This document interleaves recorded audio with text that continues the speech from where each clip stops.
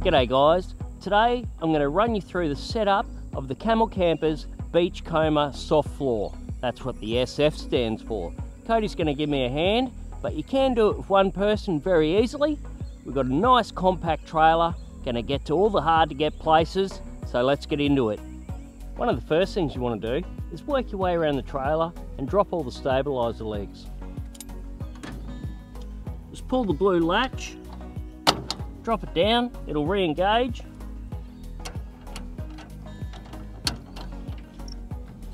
And then wind your stabiliser out. Go around and do the other three.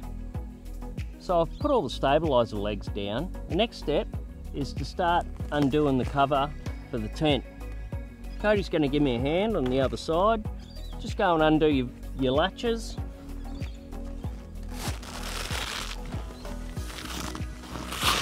And then open up your Velcro.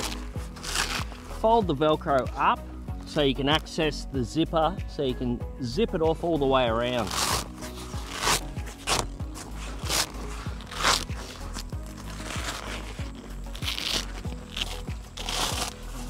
Got one. Look at that, we can do it.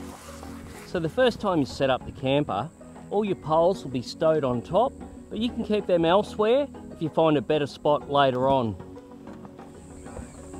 So all the canvas and roof for the awning and annex walls are on top. Just remove those and put them aside for now.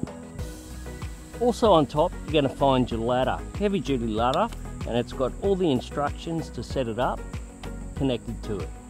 So now we've removed all the components from the top of the tent, we're just going to undo the clasps and then fold the tent over.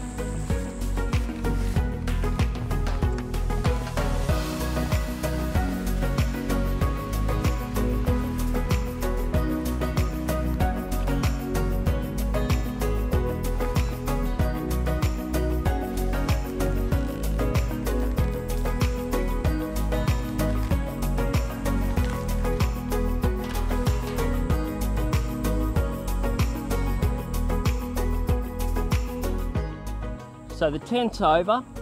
Next we're going to peg the floor down around the bottom and then we'll go in and extend the poles. So now we've got the poles extended, it's time to grab the ladder and set up the poles that are on top of the bed.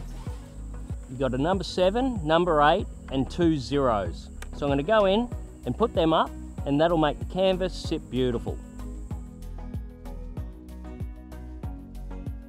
So that was easy. We've extended all the internal poles. Now we're just going to peg it down all the way around and make it all look pretty. So there you have it guys. The Camel Campers, Beachcomber, SF, all set up. Took us about two minutes, easy as. But if you want more information, head to camelcampers.com.au. If you want to see a setup video, check out our YouTube page.